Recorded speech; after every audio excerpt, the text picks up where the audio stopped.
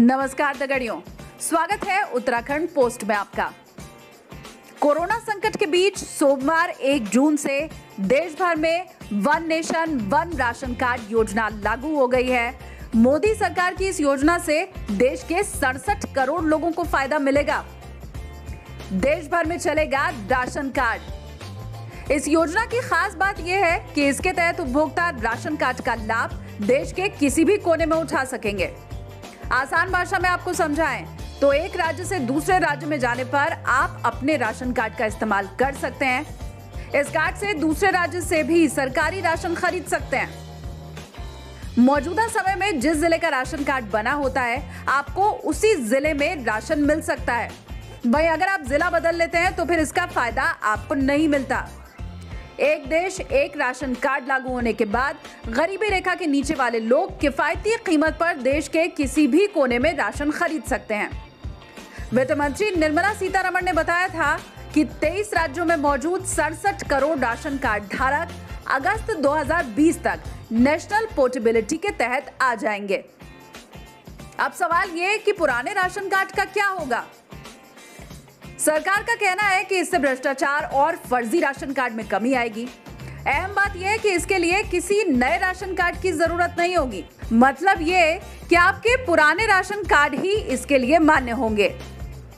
केंद्र सरकार ने स्पष्ट किया है कि one nation, one ration card योजना लागू होने के बाद भी पुराना राशन कार्ड चलता रहेगा।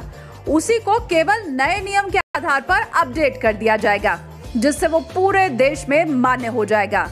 यानी आपको इसके लिए कोई नया राशन कार्ड बनवाने की ज़रूरत नहीं है। पहले से जिनके पास राशन कार्ड है, उन सबको उसी राशन कार्ड के आधार पर one nation, one ration card का फ़ायदा मिलेगा। अगला सवाल, कैसे मिलेगा योजना का फ़ायदा? One nation, one ration card योजना का लाभ लेने के लिए आपके पास दो दस्तावेज़ ज़रूर होने चाहिए। पहला तो आपका राशन कार्ड और दूसरा आधार कार्ड।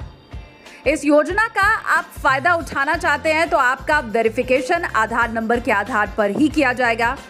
पीडीएस के हर राशन कार्ड की दुकान पर एक electronics point of sale device होगा और उसी से लाभार्थी का वेरिफिकेशन उसके आधार नंबर के आधार पर किया जाएगा।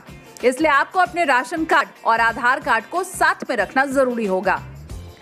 आपको बता दें कि राष्ट्रीय खाद्य सुरक्षा अधिनियम 2013 के मुताबिक देश के इक्यासी करोड़ लोग जन वितरण प्रणाली के तहत उचित मूल्य की दुकान से तीन रुपए प्रति किलोग्राम की दर से चावल और दो रुपए प्रति किलोग्राम की दर से गेहूँ और एक रुपए प्रति किलोग्राम की दर से मोटा अनाज खरीद सकते हैं। One nation, one ration card योजना का सबसे बड़ा फ़ायदा प्रवासी मजदूरों का होगा। उन्हें किसी भी राज्य में सस्ते में अनाज मिल जाएगा। राशन कार्ड को आधार से लिंक कराने की आखिरी तारीख 30 सितंबर है। इस संदर्भ में केंद्रीय खाद्य मंत्रालय ने कहा है कि अभी आधार से जुड़े नहीं होने के बावजूद राशन कार्ड धारकों को राशन मिलता रहेगा। राज्यों और केंद्र शासित प्रदेशों को निर्देश दिया गया है कि किसी भी लाभार्थी को उसके हिस्से का राशन देने से मना नहीं किया जा सकता।